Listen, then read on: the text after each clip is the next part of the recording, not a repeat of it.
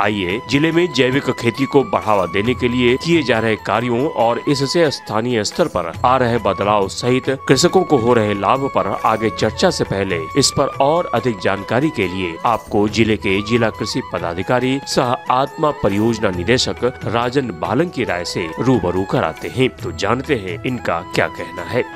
अभी जैविक खेती की ओर सरकार का काफ़ी ध्यान है, सरकार प्रयास भी कर रही है कि जैविक खेती को अधिक से अधिक बढ़ावा दिया जाए।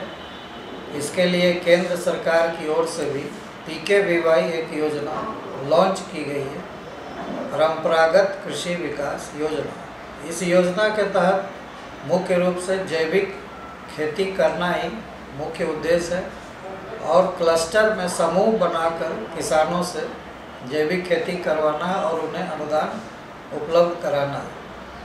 जैविक सब्ज़ी की खेती तो अत्यंत ही ज़रूरी है, क्योंकि जब हम रसायन का प्रयोग या कीटनाशी का प्रयोग सब्ज़ी में करते हैं तो वो हमारे स्वास्थ्य के लिए भी हानिकारक है। आप देख रहे होंगे तरह तरह की बीमारी, जैसे शुगर की बीमारी, हाई बीपी, कोलेस्ट्रॉल का बढ़ना, हृदय रोग, कैंसर की बीमारी समाज में काफ़ी तेज़ गति से बढ़ रही है। इसका मुख्य कारण यही है कि हम रसायन का प्रयोग अंधाधुंध कर रहे हैं और खासकर सब्ज़ी में जो अधिक ध्यान देने वाली बात है कि किसान भाई कीटनाशी या पेस्टिसाइड का प्रयोग अत्यधिक मात्रा में करते हैं, जबकि इससे हमारा मित्र कीट भी मर जाता है।